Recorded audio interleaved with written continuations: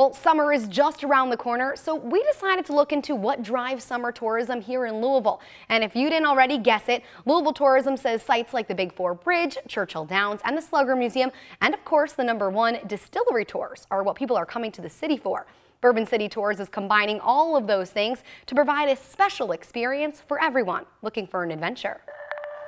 At 25 miles an hour, I'm going to take you someplace where Nobody knows we go. This silent ride leaves no carbon footprint as it travels through the city. Wow. Tuk-tuks have arrived in Louisville. I'm Sean. I'm going to be your cruiser captain for the day. This three-wheel rickshaw is changing how to see the city. Once they see it, they start smiling, and they never stop smiling. And how to embrace it. We're showing them things they wouldn't normally see, telling them stories they wouldn't normally hear. This is the centerpiece of Louisville history learning how to dine, devour, and dabble like a Louisvillian. Where locals go, where they drink, where they eat, and where they have fun. Giving travelers a reason to choose Bourbon Country as their next adventure destination. Well, it's an extension of our tour, so people are coming from all over the world and now they're staying two or three days and they're looking for different alternatives. And one of those alternatives is downtown Louisville. But the new cruise isn't just for the tourists. Nobody from Louisville expects something like this. They've never seen anything like this. It, it's really taken them out of the box. And it's only in one of a few select places. You've got Denver and Portland,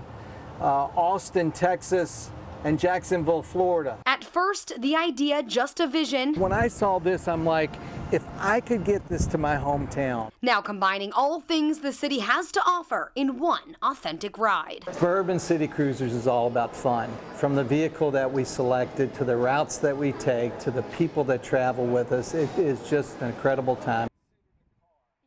Well, Bourbon City Cruisers is actually an extension of Mint Julep Tours. They handle about 220 small group requests a week. And if you're a local looking to act like a tourist for the day or someone visiting the city, visit our new WHAS 11 app and click on this story to find out how you can hop on the next tuk-tuk.